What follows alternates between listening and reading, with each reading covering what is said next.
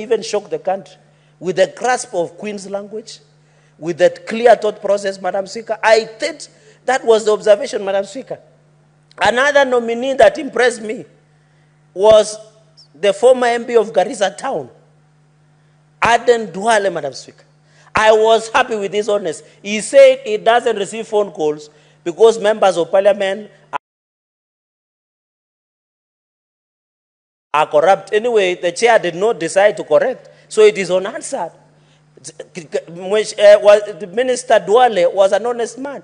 He said he does not receive our phone calls as members of parliament because we are corrupt, Madam Speaker. But no one corrected. It is unanswered. We can print it and bring it here, Madam Speaker. So we need all. honest. Even uh, Madam Speaker, Eric Muredi, that was having is what 30, 30, 30, 32 million. I want to agree and challenge the GNC that Eric Muredi, Madam Speaker, if approved, will be a no, will be a bagam. He's only 32 million worth. He doesn't have a car. He's a young man with a vision. That should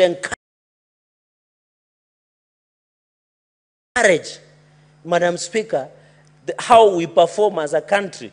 We should believe in the people that we have, Madam Speaker. So even as we did vetting, and I'm proposing this, Madam Speaker, going into the future. Can you direct when our committees does vetting, like finance and budget? I have noticed in our committee rooms, when I'm Speaker,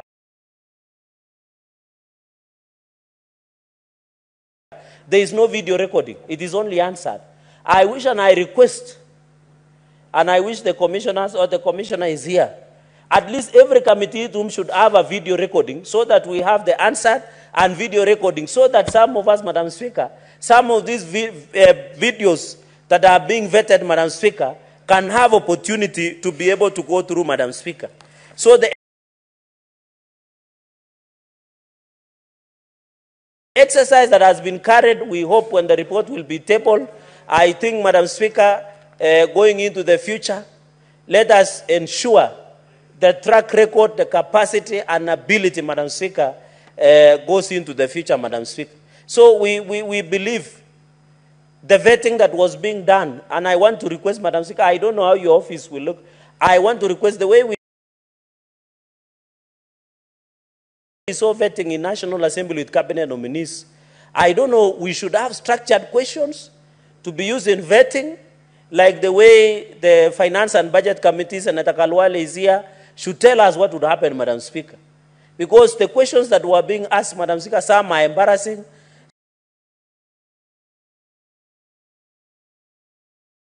Some were supposed to juxtapose, Madam Speaker. Let us ensure, even as we wait for the report, and I hope we'll get the report from the National Assembly when they table it on Wednesday or Thursday, Madam Speaker.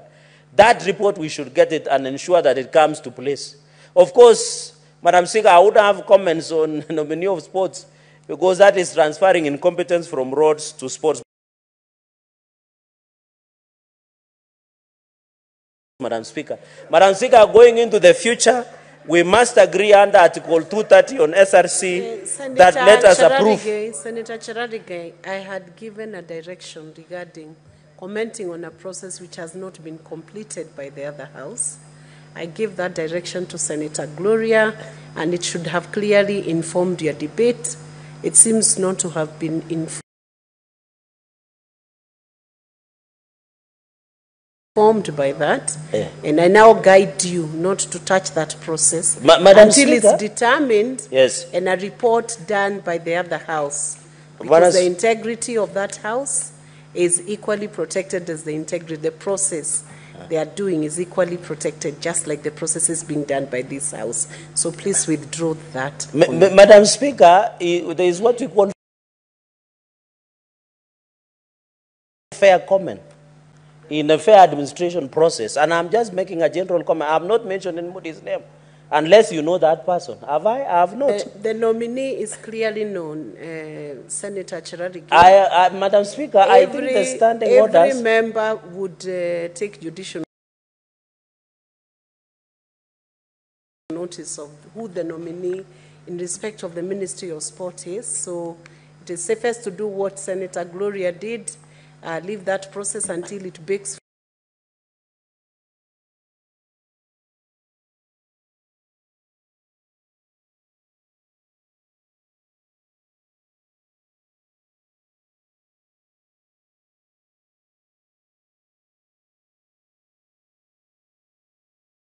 respond to it. And since they are not, and the report is not yet out, if the report was out, and a verdict has already been rendered by the panel on the other house, then it will be easy to debate and it will be easy to accept as a public record once the report is out. So I, I still guide that uh, since they cannot defend themselves, we allow the National Assembly to complete the process while we await the report. We will still have a chance to debate that report, I believe that. Thank you. You can finish, Senator Chira.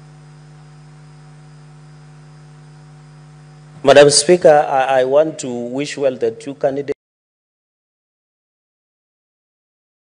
I know the law says president will appoint one. And uh, the committee, of course, we hope to see those SRC members before this committee, Madam Speaker, but to support and ask the House to support and ask the SRC if one of them, because there are two, if either of them succeed, Madam